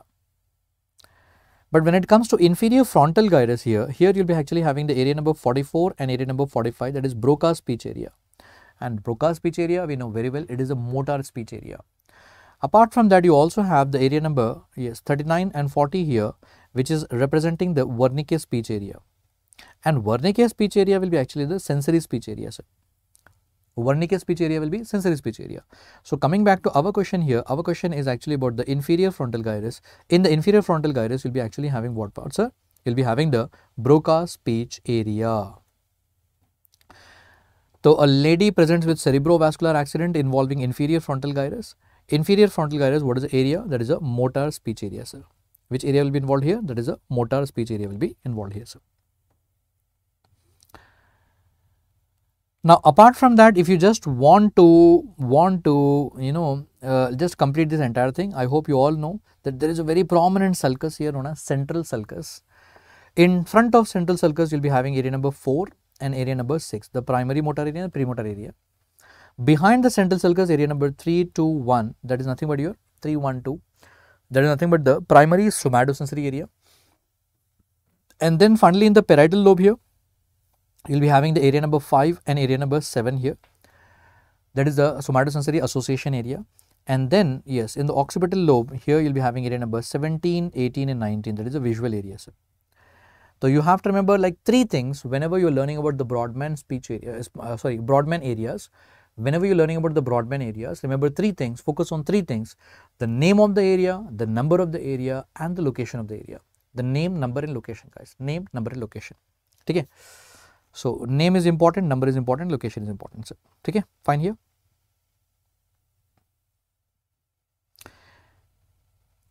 Uh, yes, yes, of course, of course, Jyoti Singh, the Broca speech area is actually the motor, whereas Wernicke will be the sensory speech area. Wernicke will be sensory speech area. Now the next thing is about the left recurrent laryngeal nerve has a comparatively longer course due to the persistence of which pharyngeal arch artery. Actually na my my my concern here is that we all know very well there'll be a right recurrent laryngeal and there'll be a left recurrent laryngeal. RLN RLN right side and the left side. Now remember the left side is like more longer. Why? Because the left recurrent laryngeal nerve is actually going to arch around what? It is going to arch around the arch of aorta whereas the right one is going to arch around actually the subclavian subclavian artery so in this diagram you can clearly see this is the right subclavian artery here and this is the right recurrent laryngeal nerve it is going to arch around that one uh, whereas uh, this one here if you are able to appreciate is the aorta arch of aorta और वहाँ पर आपको नजर आएगा the left recurrent laryngeal nerve guys so it is like more longer okay uh, now my dear doctors remember my main intention my students all my foreign medical graduates you know very well you know very well about this right and left recurrent laryngeal nerve it is also discussed in the ent also okay and ENT yes be ready tomorrow like uh, Dr. Rajiv Dhawan sir will be taking the you know ENT session for you like expected questions for this FMG exam also है ना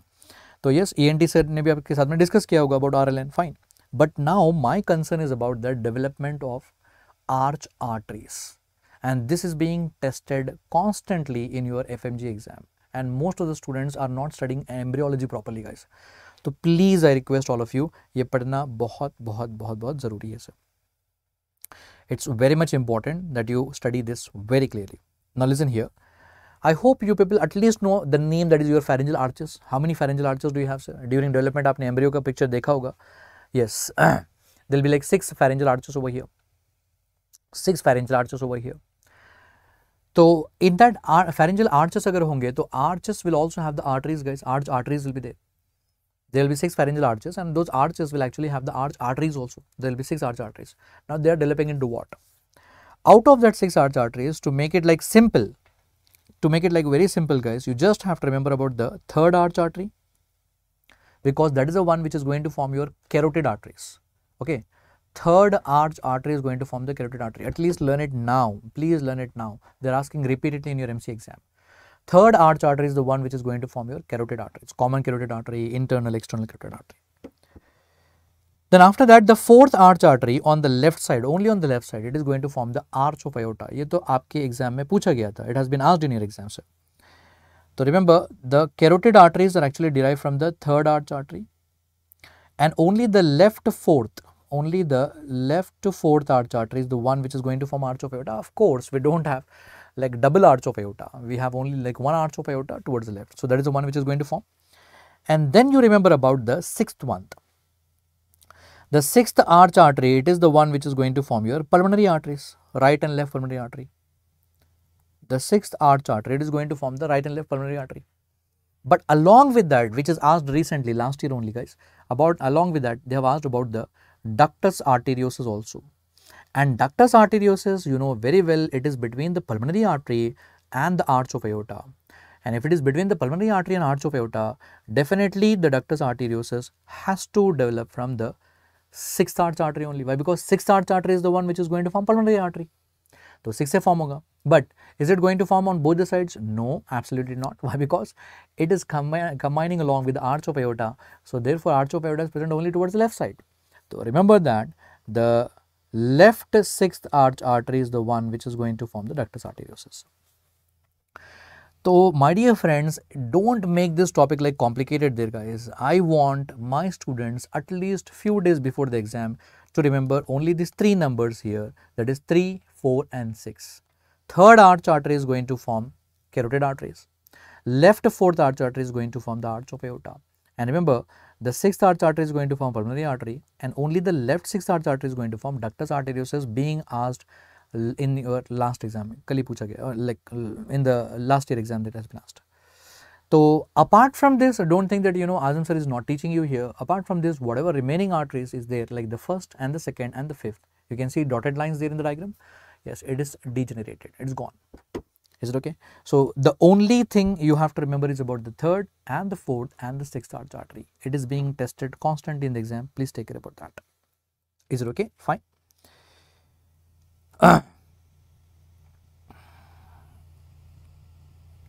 Sir, please clear my doubt. Dr. PK is asking here external auditory canal develops from the first brachial arch or the first brachial cleft. See, external carotid art, uh, external acoustic meatus will be according to the Gray's anatomy. It is written very clearly. It will be actually derived, actually, actually derived from the uh, cleft, the first cleft. Okay, but nowadays uh, the recent advances we are going to come across, uh, you know, new new like updates are coming in the exam, guys. So it is being mentioned there as it is derived from the first arch. So nowadays, nowadays, remember if the question is asked in your exam, go for the first arch. The nerve supplied in the following shown muscle here, sir. Like first of all, you have to identify this muscle. So I would like you people to answer me very quickly here. This is the front view or the back view, guys? Yes, it is the back view. And then this is the spine of the scapula here. And अगर ये वाला spine होगा तो above the spine there will be supraspinatus muscle and below the spine there will be infraspinatus muscle supraspinatus muscle and infraspinatus muscle. Sir. And then you'll be having the lateral border here and there is a medial border and lateral border will be attached to two muscles here. There will be teres minor above and there will be teres major below. Sir. Similarly, on the medial side also there will be two muscles there guys. One will be the rhomboid minor above and then there will be rhomboid major below. Okay, that is a simple way to remember. Above and below the spine will be having supraspinatus, infraspinatus. Lateral border will be having the teres minor major and medial border will be having the rhomboid minor, rhomboid major. So in this diagram, whatever this muscle is marked here, that is teres major muscle. And remember, teres major muscle will be supplied with the lower subscapular nerve. So lower subscapular nerve will be supplying to the teres major muscle. And teres minor, though it is very famous one, deltoid and teres minor together it is supplied by axillary nerves. Axillary nerve will be supplying to the yes deltoid as well as the teres minor. Moving on to the next concept hand deformity present as hyperextension at the metacarpophalangeal joint, metacarpophalangeal joint hyperextension and flexion at the interphalangeal joint occurs due to paralysis of Oho. So, basically it is telling about the claw hand only. Okay, na? Are you getting me? So, basically what is this one here sir? Claw hand and the claw hand yes the muscles which are involved will be the lumbricals as well as the interossei. The lumbricals as well as interossei will be involved in the claw hand. Now the clinical diagnosis for the patient shown in the diagram, in the diagram you are able to see here, this is actually the omphalocele guys, omphalocele. The moment you look at this diagram, I hope everyone will be able to tell it is omphalocele. Why? Because yes, the contents of the intestine, intestines are actually lying outside and the loops of the intestines are actually outside and they are actually covered by that sac, peritoneal sac. So that is why when you have that sac, remember it is omphalocele, omphalocele, not gastroschisis. In gastroschisis, you don't have that sac there, guys. Now, now my my intention is not about this one here. My intention is about the rotation of gut because it is very commonly asked in your exam, MCI exam. So write down, down any notes there's a rotation of gut. Remember the foregut, the foregut will be rotating 90 degrees in clockwise direction, sir. And then midgut, midgut will be rotating 270 degrees in anti-clockwise direction, sir anti-clockwise direction and whereas the hind gut, hind gut will actually not rotate. So the foregut will rotate 90 degrees in clockwise direction and the midgut will rotate 270 degrees in anti-clockwise direction and the hind gut will not rotate actually. Now, uh, so once in your exam they have asked about the midgut rotation, how much it is rotating sir? 270 degrees. And second thing what they have asked is the midgut is going to rotate 270 degrees anti-clockwise around which artery? Common sense here which is the artery of midgut. Midgut is supplied by which artery there? It is supplied by the superior mesenteric artery. The superior mesenteric artery is the one which will be supplied to the midgut. And remember, yes, around that uh, superior mesenteric artery, what is going to happen? It is going to rotate. That is one more thing that you have to remember. And apart from that, one more thing that I want you to remember is that okay, midgut rotation, what is going to happen? The midgut is going to herniate out. That is known as physiological hernia. Midgut is going to come out. And it is going to come out via which opening there? Umbilical opening and after coming out through this umbilical opening then it is going to rotate anti-clockwise direction that is 270 degrees in anti-clockwise direction around which artery sir? That artery is nothing but the superior mesenteric artery. Okay. Now you and me we are like very fortunate. Your midgut my midgut came out rotated. It actually reduced back. The physiological hernia reduced back. And our, our abdomen is perfect right now. But the, but in some unfortunate babies what is going to happen? Yes, the midgut will come out, but it will not reduce back. There will be failure of reduction of the uh, you know physiological hernia. The physiological hernia will not reduce back, and that is the reason why. That is the reason why it's going to remain outside itself, and that condition is known as what's a omphalocele. So my main intention here in anatomy, remember about the rotation of gut topic, very important. Revise that before the exam, sir. Ligation of the common hepatic artery will compromise blood flow in which of the following arteries? Oh my god Another expected question for June exam. Uh, please write it down guys wherever you're writing uh, you know uh, in your notes and all. कहीं पर एक बार लिख लो वहाँ पर the blood supply of the abdomen abdomen blood supply the arterial supply is very much important and uh, you can actually expect one question from the uh, all the branches arteries and all those things number one you have to learn about the abdominal aorta and branches Number two, celiac trunk, superior mesenteric artery, inferior mesenteric artery. And most of the time the questions will be coming from abdominal aorta as well as the celiac trunk. Sir. Abdominal aorta and celiac trunk. Okay. तो ये बहुत important है guys this is extremely important ठीक है ना now uh, i'll let you know here let us just uh, revise this one and the best way to revise this topic is actually draw the diagram just orally learning the branches will never help you guys so, for example, esophagus here and the stomach here and duodenum first part, second part, third part and the fourth part of duodenum here. Now, in the concavity of this one, you will be able to see the pancreas present over here and pancreas is going to pass behind the stomach and finally the tail of the pancreas will be lying in the spleen here, in the hilum of the spleen, fine. And similarly, on the right side here, you just try to imagine that there is liver present over here guys, come on. Now, what is the artery of foregut? The foregut will be supplied by the celiac trunk. Celiac trunk is the artery of foregut. And celiac trunk in turn will give rise to like three main branches. So, what are the three main branches given to the celiac trunk, sir? Number one, that is the left gastric artery. Number two will be the splenic artery. And number three will be the common hepatic artery. Let us deal with all the three of them one by one very quickly, guys. In two minutes, we are going to revise the entire topic. So, please concentrate here. The celiac trunk will first of all give rise to left gastric artery and this left gastric artery will be lying along which curvature of the stomach? Lesser curvature of the stomach. And uh, on the way it will be giving the branches only to the esophagus and these are known as what guys? Esophageal branches. That's all. It is the easiest one. Easy one, easy one to remember guys.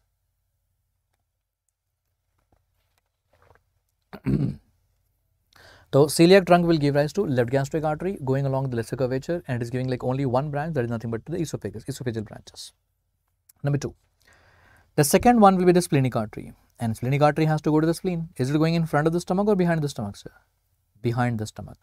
And that too, it is actually going in a zigzag, zigzag manner. So it is one of the examples of your tortuous artery. It is going in a tortuous manner. Now it's very simple. Don't try to mug up like you know like a flow chart or like a table there. It's very simple in our diagram. On the way it will be giving the branches to what sir? On the way it will be giving the branches to the pancreas. So these are nothing but the pancreatic branches.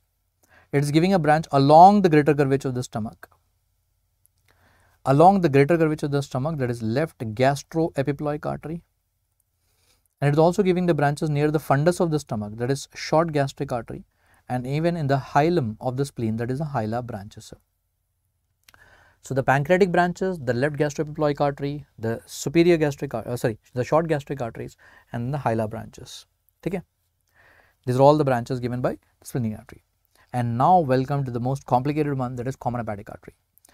Common hepatic artery from the name itself we can understand it will be again dividing into two branches. One which is actually going towards the liver, proper hepatic artery and the one which is going behind the duodenum here that is gastroduodenal artery. Uh -huh. So, let me repeat that again here guys. Common hepatic artery will actually divide into two branches. One is the proper hepatic artery, another one is the gastroduodenal. And proper hepatic artery will be dividing into right hepatic artery and left hepatic artery. Right hepatic artery will give rise to cystic artery which will be going and supplying to the gallbladder present here. So, it's simple. The proper hepatic artery is very simple. Okay, na? And now welcome to gastroduodenal artery. It will be finally giving like two branches. Out of the two branches, one of the branch will go along the greater curvature here. That is right gastroepiploic artery. And then one more branch is given here between the pancreas and duodenum. That is superior pancreatico-duodenal artery. superior pancreatico-duodenal artery. Between the pancreas and the duodenum, there will be superior pancreatico-duodenal artery. So, these are all the branches given by this one.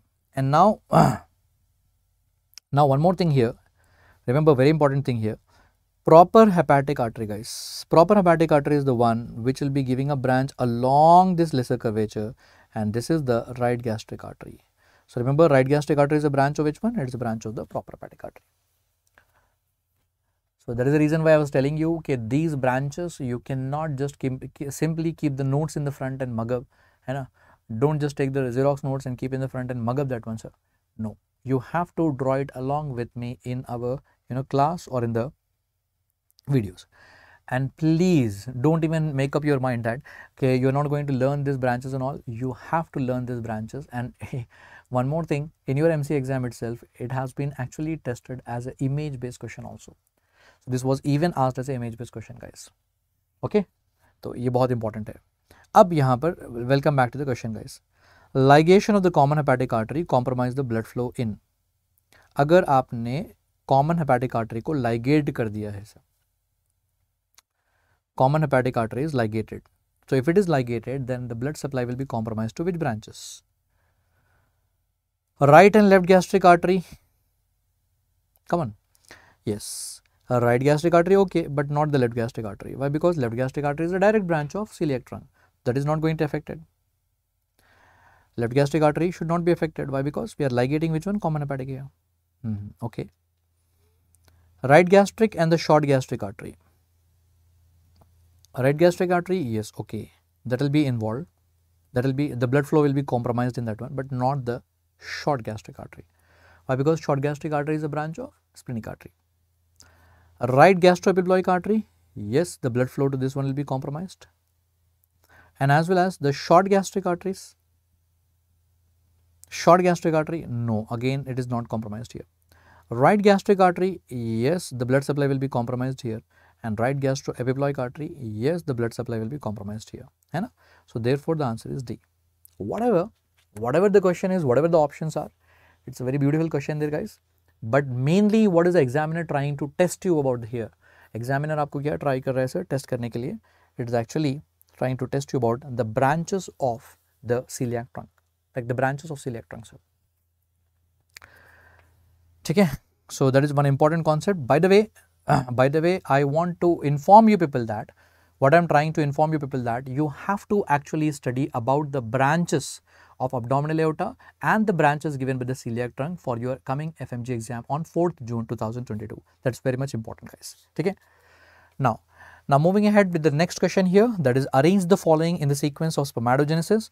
Yes, spermatogenesis I hope you know the sequence. First you will be having spermatogonium and spermatogonium will be actually followed by what sir? They will be getting converted to primary spermatocyte then the secondary spermatocyte. So, this should come second and then they will be actually forming the spermatids and finally the spermatozoa.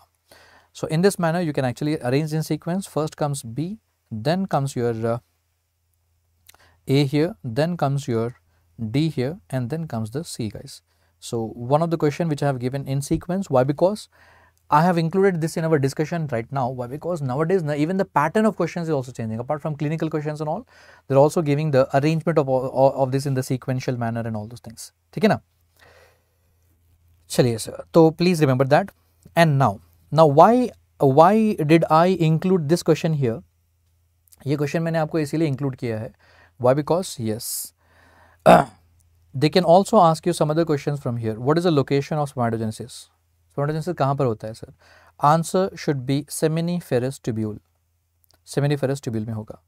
And then number two second question is that duration duration will be 72 to 74 days. And i would like you to again tell just before before your exams here days. Days important hai. i don't know why in some of the face to face classes students are in a very hurry. They are like 72 to 74 hours 74 seconds pata nahi kya remember it is days guys. And then yes epididymis. You have to remember epididymis for your mc exam. Why? Why? Because this is the place where there will be storage of the spermatozoa this is the place where the uh, there will be maturation of the spermatozoa and this is the place where the spermatozoa will gain motility. They are going to become like more motile. So I hope now you have understood why I have kept this question in discussion over here. Like so many MCQs which are asked from here. So you have to remember for this one. So remember the storage of spermatozoa will be in the epididymis and the maturation of the spermatozoa will occur in the epididymis and the motility, it gains motility in the epididymis and the duration of spermatogenesis is 72 to 74 days and location is seminiferous tubule guys. And yes, in the options we have already discussed the, the process of spermatogenesis like one by one all the stages we have already discussed guys. So, I hope this will help you. Next one, which of the following finger has got two dorsal interosseous muscle guys? Let me show you with the help of this picture. The moment you look at this picture here, you are able to appreciate, yes, you will be having the you, these muscles in between the bones, in between the metacarpal bones. That is why they are like interossei, inter in between osseous bone, interossei. Now, how to differentiate between palmar and uh, dorsal interossei? Remember, palmar interossei will be unipinnate. Unipinnate. You can clearly appreciate there, they are actually going to originate only from one metacarpal only from one bone. But whereas dorsal interossei are actually going to originate from the adjacent metacarpal. So, therefore, this one will be the bipinnate. Bipinnate guys. So, how to differentiate between palmar and dorsal interossei? Yes, remember palmar interossei will be unipinnate, dorsal interossei will be bipinnate. Number two, they can ask you about the nerve supply. The moment you listen the word as interossei, keep in mind all the interossei are supplied by ulnar nerve. There is no exception there all the all the interossei are supplied by ulnar And third thing is action. Action you know very well. We remember with the very famous mnemonic as pad and dab. Palmar interossei will be helping in adduction of the fingers and whereas dorsal interossei will be helping in abduction of the fingers. Sir. Palmar interossei will be helping in adduction of the fingers, dorsal interossei will be helping in abduction. Sir. ठीक na. Pad and dab. Pad and dab. Palmar Palmer will be helping in adduction, and dorsal इंट्रोशल will be helping in what? Adduction. Abduction. Okay. Now, now let us go little bit in more depth. Which finger has got like two dorsal interossei? You can see the insertion here, sir. This dorsal interossei and dorsal interossei inserting onto the middle finger. That means middle finger actually has got like two dorsal interossei. But middle finger will not have the palmar interossei. Palmar interossei are not present over there, sir. So, first of all, let us come back to our question here. Which finger has two dorsal interossei? It is actually the middle finger there will be two dots dorsal interossei will be attached to that one. So, okay, but there will be no permanent interossei attached to that one. So, very nice. We have actually learned about the action of this one. We have we have learned about the nerve supply. You know, everything is done here, sir. Let us move ahead with the next one here. Arrange the auditory pathway in the sequence from periphery to the center. Auditory pathway, another very important topic. And uh, yes, nowadays they are asking about the sequential arrangement of the structures from periphery towards the center, auditory pathway and there is one there is one very famous mnemonic for this one guys. You can remember as E coli ma. In auditory pathway remember E coli ma sir. E stands for your ear okay? Ear or even like you know eighth nerve the vestibulocochlear nerve. And after that C stands for the cochlear nucleus. And after that O stands for your olivary nucleus. And of course it is superior olivary superior olivary nucleus. L stands for the lemniscus guys that is your lateral lemniscus. I stands for the inferior colliculi. And from the inferior colliculus what is going to happen? The fibers are going to pass to the medial geniculate body. ये तो आपको पता ही होगा we always remember like medial geniculate body and lateral geniculate body L for lateral L for light that comes in the visual pathway and medial geniculate body, M for medial geniculate body and M for music, music that comes in the auditory pathway. Okay. And then the next one A here, A stands for the auditory radiations here. And finally, it is going to the auditory cortex that is the area number 41 and 42 that is nothing but Heschl's cortex also. So these are all the structures we have already studied in our face-to-face -face class as well as in the DocTutorials videos with a beautiful diagram for the auditory pathways. Entire diagram I have drawn there. But for the sake of exam, how to remember the arrangement from periphery towards the center is E. coli ma. Remember this one, this mnemonic here. So now according to this, we can easily tell here lateral lemniscus, inferior colliculus, cochlear nucleus and medial geniculate body. I think cochlear nucleus comes first. Yes and after the cochlear nucleus you'll be having the lateral lemniscus yes and number 3 you'll be having the inferior colliculus and finally the number 4 the medial geniculate body. I hope you can easily manage with this one here. Is it okay? So that is the arrangement of uh, uh, the structures in the in the auditory pathway from the periphery towards the center guys. Now the surface marking beginning from third to sixth costal cartilage, third to sixth costal cartilage. So this is the first rib here, the second rib here, the third one, third two fifth. Now, now why I have given you this question, now from the last 2-3 exams, constantly they are asking, they are asking the question regarding the surface marking of or the positioning of your heart, the location of the heart. So, and you can clearly appreciate in this diagram here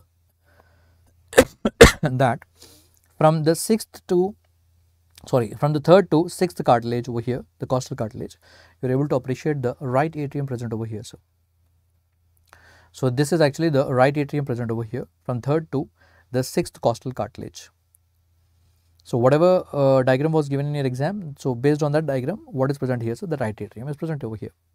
Now, having said this one, let us just try to recall like how is the positioning of the heart and what are the structures present at at all the surfaces, guys. Number one, in this diagram, you are able to see the superior vena cava here collecting the blood from the upper half of the body and the inferior vena cava here from the lower half of the body and both of them are going to bring the blood into the right atrium. From the right atrium, the blood will go into the right ventricle over here and behind this you are able to appreciate here, this is the left ventricle. Now, looking at this diagram, yes, can anyone tell me what is going to form the apex of the heart? It is formed by left ventricle. Apex of the heart is formed by the left ventricle And we all know very well the apex of the heart is located in fifth intercostal space, obviously left one, the left fifth intercostal space. What is going to form the base of the heart, sir? Remember base of the heart is formed by right atrium in the front plus the left atrium behind. And please remember if both of them are, are given in the option there, right atrium is contributing only one third whereas left atrium is contributing two third. So अगर दोनों भी option में दिया जाएगा better option will be the left atrium. It is contributing two third there guys. I repeat again the base will be formed by both right atrium as well as the left atrium. And if both options are given better option will be the left atrium guys. Then similarly what is going to form the inferior surface? The inferior surface is formed by the right atrium along with the right ventricle along with the left ventricle. You can clearly see here the right atrium and the right ventricle and the left ventricle there guys. What is going to form the lateral surface? The lateral surface is formed by left ventricle here along with this ear-like projection and this ear-like projection here is the auricle that is your left auricle. Left auricle guys. Okay. So positioning of the heart is very much important sir. The positioning of the heart is very much important. They're asking these questions a lot of times, a lot of times in your exam in different, different ways also. Sometimes they'll be giving you a radiological image also. In the last exam, if you remember, in the December exam, recall questions if you remember, they have given a transverse section and the two radiological image was given. The scan image was given and in that you have to identify the chambers of the heart. The right atrium, left atrium, the right ventricle, left ventricle, all those you have to identify. So please, please, please remember about this, you know. very much important here so take okay so my dear friends these are all the like important concepts that you have to discuss here or you have to remember before going to the exam. So i hope this session will actually help you for your FMGE exam and i hope your preparation is going well. So whatever concepts i told you it's not only about the questions guys it's all about the concepts which i told you here. Please try to revise them. Definitely the questions are going to come from here. And uh, yes uh, god bless you all and uh, I hope your preparation is going good. Please revise anatomy and feel free to ask any doubt uh, uh, to me any point of time sir. I am along with you till 4th June uh, early morning when you are even going to the exam guys. I am along with you people. So anytime if you have got any doubt please let me know. Uh, I'll, I'll be happy to clarify the doubt guys. Okay. Uh, that's all for today here like this is the session uh, that is uh, these are all the important concepts that you have to revise for the anatomy guys keep revising this one here and uh, if anything else uh, I'll, I'll, I'll, surely be in touch with you people. You also be in touch with me. I'll keep on updating guys. Okay? So that's all for today. Thank you. And uh, uh, thank you for you know waiting patiently for the session here. Yes in the beginning there were some issues and I apologize for that one guys. Uh, thank you for patiently waiting there and listening to me guys. Okay? Thank you all. God bless you all guys. Take care